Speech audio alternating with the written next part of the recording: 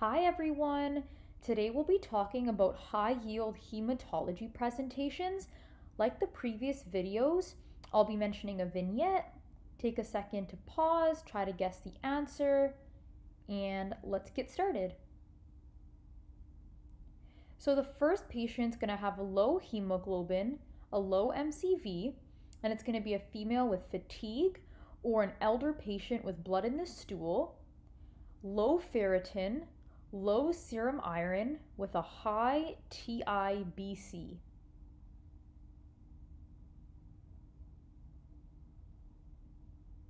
So this is iron deficiency anemia.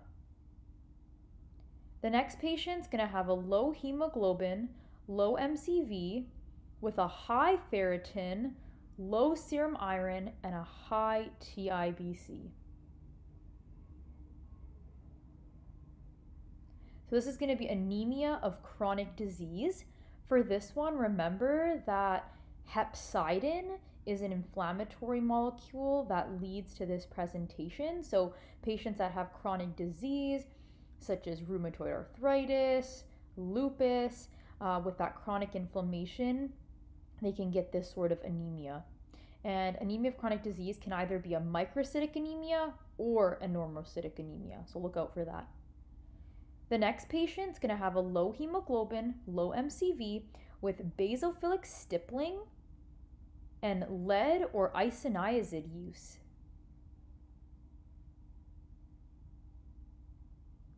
So this is sideroblastic anemia. And remember the basophilic stippling looks like a bunch of little dots all over the red blood cell. Next, we're going to have a patient with low hemoglobin, low MCV, frontal bossing, and hepatosplenomegaly. And then on peripheral blood smear, we see target cells.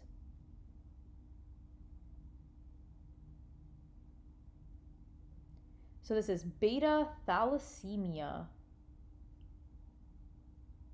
The next patient's going to have low hemoglobin, a high MCV. They're either going to be alcoholic or pregnant, and they're going to have a high homocysteine, but a normal methylmalonic acid level. So this is folate deficiency or vitamin B9, folic acid.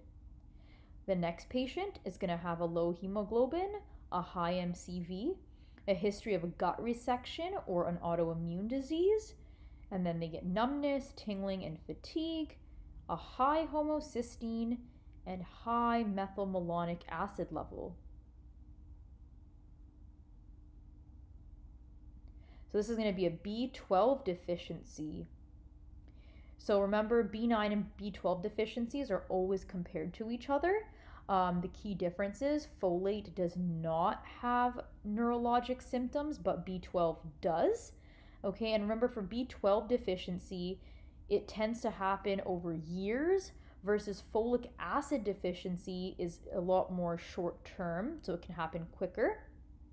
Another thing with B12 deficiency, vegans tend to get it more frequently as well. Okay, so look out for those specific risk factors. And B12 deficiency is the one with pernicious anemia, where you get uh, antibodies against intrinsic factor. And when you don't have intrinsic factor, B12 is not able to be absorbed in the terminal ileum. Okay, look out for those. Next, we have a patient with a low hemoglobin, normal MCV, high LDH, high indirect bilirubin, low haptoglobin, and a high reticulocyte count.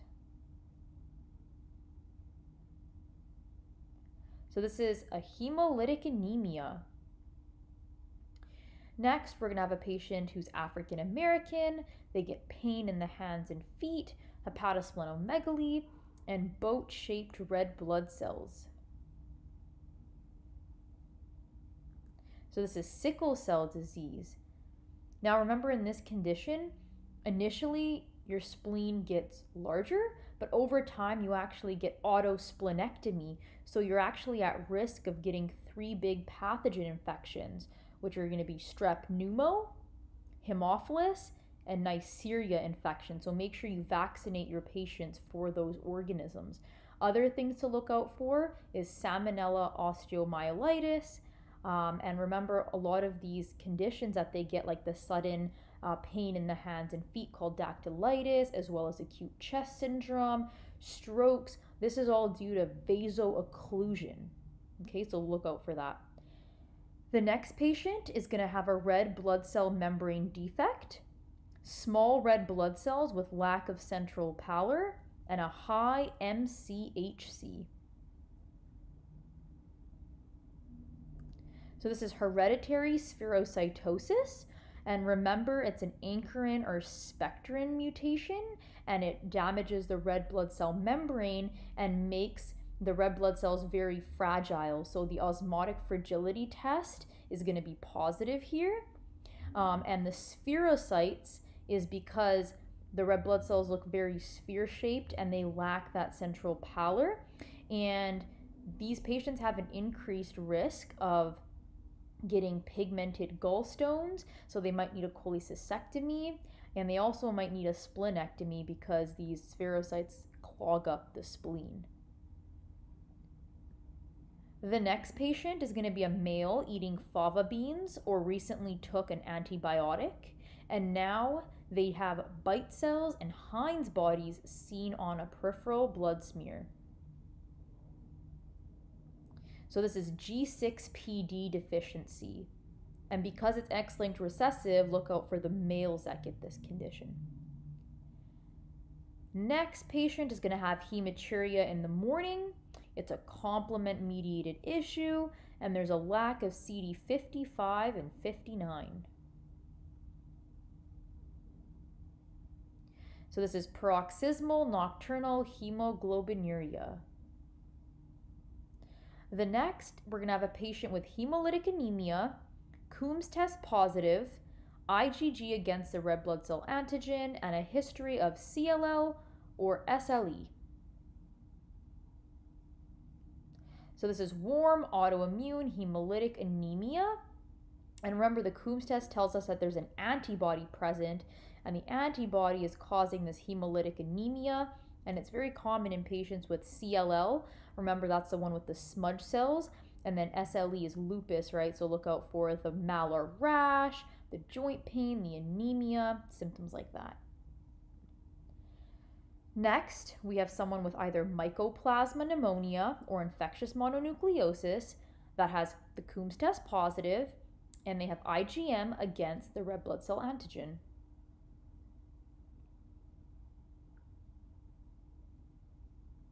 So this is cold autoimmune hemolytic anemia from IgM. Okay. Next, we're going to have a patient with a low hemoglobin, low white blood cells, low platelets. It's going to be non hemolytic, which means the reticulocyte count is going to be low. And there's a fatty infiltration of the bone marrow with a high EPO. So this is aplastic anemia. Next, we're going to have a patient with low hemoglobin, normal white blood cells and platelets, also non hemolytic with a low reticulocyte count, and a low EPO. So, this is chronic kidney disease. Here, remember that EPO is made in the kidney, and so when your kidney's not functioning, you're not able to make the EPO, which is responsible for letting your bone marrow know to make the red blood cells, which is why you get these findings. Next, we're going to have a patient with a normal platelet count, increased bleeding time, a defect in GP1B, and it's a platelet adhesion issue. So this is Bernard Soulier. Next, we have a patient, normal platelet count, increased bleeding time. This time it's a defect in GP2B and 3A, and it's a platelet aggregation issue. So this is Glanzmann thrombasthenia. Next, we have a young female with heavy menses, an increased PTT and bleeding time, with an abnormal ristocetin assay, and you can treat it with desmopressin. So this is von Willebrand's disease. And remember, von Willebrand's factor has influence on our platelets and on factor 8, which is why your bleeding time and your PTT increases.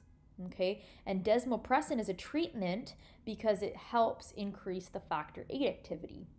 Next, we have a patient with a low platelet count, increased bleeding time, and GP2B and 3A antibodies form. So this is ITP. Next, we have a patient with a deficiency of ADAMTS13, low platelets, increased BUN and creatinine, fever, confusion, and schistocytes.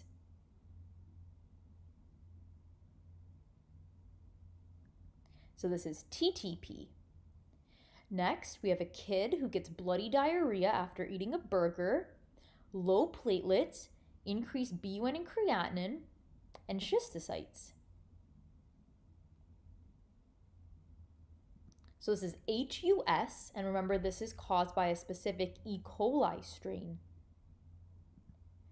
Next, we have a patient who's a boy with knee swelling or bleeding after mild trauma, increased PTT, and it corrects after giving factor 8.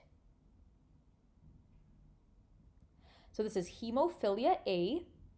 Next, we have a patient, again, a boy with a swollen knee, increased PTT, but this time it corrects after giving factor 9. So this is hemophilia B. And remember, the hemophilias are X-linked recessive, which is why boys get these uh, conditions more.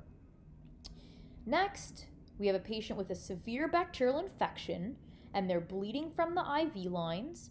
And on labs, we see a high PT, PTT, and bleeding time with a low fibrinogen. So this is DIC. Next, we have a patient with nephrotic syndrome who gets a stroke. So this is antithrombin deficiency.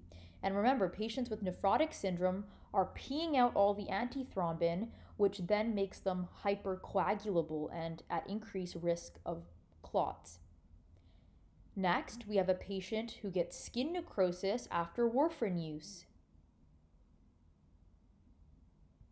So this is protein C or S deficiency. Next, we have a young female who gets a stroke or pulmonary embolism and has a history of recurrent pregnancy losses. So this is antiphospholipid antibody syndrome. Next, we have a patient who gets abdominal pain, psych issues, it's a PBG deaminase defect, and we treat it with hemin. So this is acute intermittent porphyria. Next, we have a patient who has hepatitis C, gets blisters on the back of the hand that worsens in the sun, and it's a uroporphyrinogen decarboxylase defect, and you treat it with phlebotomy. So this is porphyria cutanea tarda. Thank you so much for watching the video. If you have any questions, please don't hesitate to reach out. And I really hoped you enjoyed watching and good luck studying.